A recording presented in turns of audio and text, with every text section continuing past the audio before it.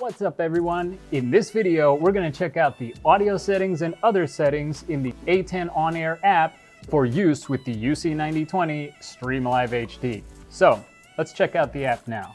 Okay, so here we have our audio settings.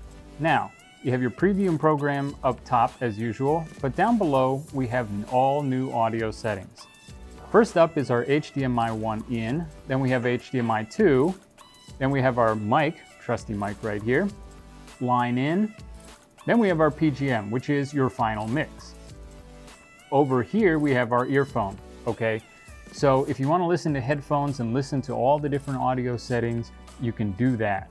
If the audio is too loud on one of your sources, like let's say the microphone is a little close to me and it's coming in a little too loud, you can always adjust that with the T bars here. So I can put it down and then I can put it at a volume that I think is more acceptable.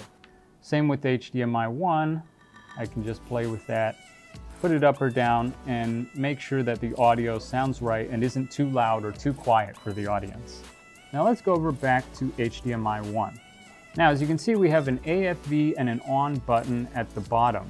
AFV stands for audio follows video and what that means is if HDMI 1 is recording and it's set to program, then the video and audio will output at the same time. But if I cut over to HDMI 2, then the PGM mix is not going to include the HDMI 1 audio, so that audio will cut out.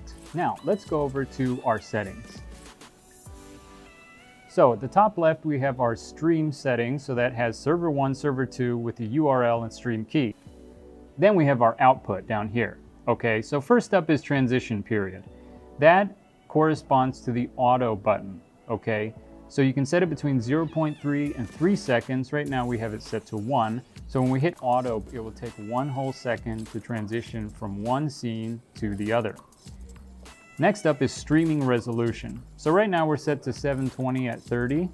You can also go to 1080 or 420p. Down below that, you have your streaming quality. So right now we're set to fluent, which is the lowest. Then we can go up to normal, which is higher. Then we can go up to quality, which is even higher. Or you can set it to manual, okay? And you can play around with that and set it exactly where you want.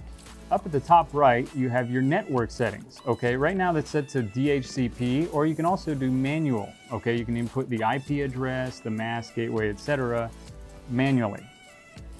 Next up is your pause picture. So when you hit pause on live streaming, it will show an image. Right now it's set to black, or you can use our other preset, which is these pause icons, or you can hit upload and upload your own custom image.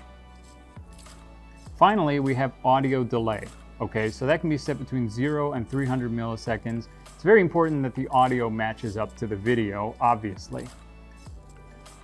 Now I want to talk about something else. If you go up to the top left here and then go to Open Project, as you can see, you can create project profiles and then quickly open those on the UC9020. So if you're going to different live events and you have a project profile for one and a different one for another, you can easily load that up without having to do everything manually every single time.